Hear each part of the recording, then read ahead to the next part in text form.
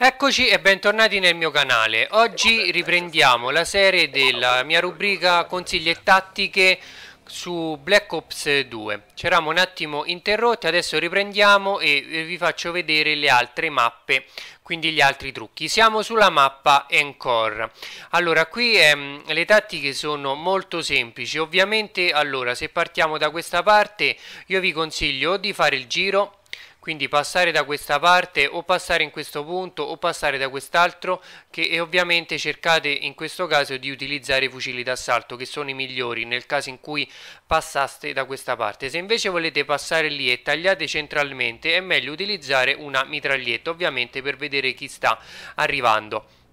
una cosa molto importante di Encore è che tantissime persone passano lateralmente, quindi fanno i giri, quindi vi ritroverete nel caso in cui passaste da questa parte molte volte oggetto di sparatore, quindi state molto attenti perché su Encore le vie di fuga sono veramente tante. Un punto molto buono dove dovete andare a vedere ma non ci andate a camperare perché è uno dove vanno sicuramente a mirare gli avversari è questo, soprattutto quella finestra. Quando giocate sia se nate da una parte sia se e dall'altra, in entrambi i casi utilizzate sempre in protezione, ovviamente in base a dove nate, questi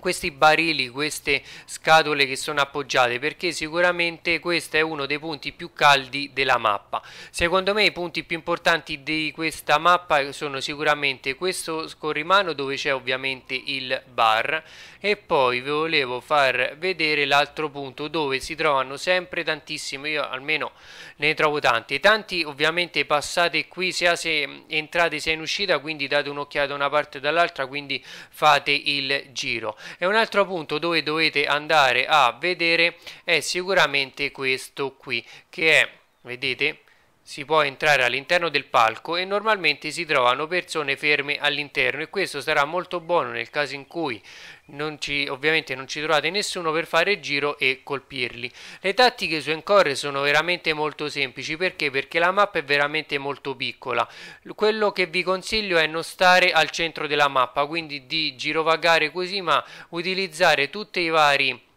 punti ma soprattutto vedete le scale per entrare e tutti i vari punti stretti per cercare di non rimanere esterni come in questo caso. Non passate laterali ma cercate di passare in strettoia andare ovviamente a vedere chi è in copertura quindi utilizzate tutte le coperture che trovate perché su Encore sono veramente tante quindi utilizzatele al meglio per non rimanere al centro della mappa così ovviamente oggetto di sparatorie degli avversari. Quindi questi erano i miei consigli e le mie tattiche da utilizzare sulla mappa Encore e ci vediamo con un prossimo video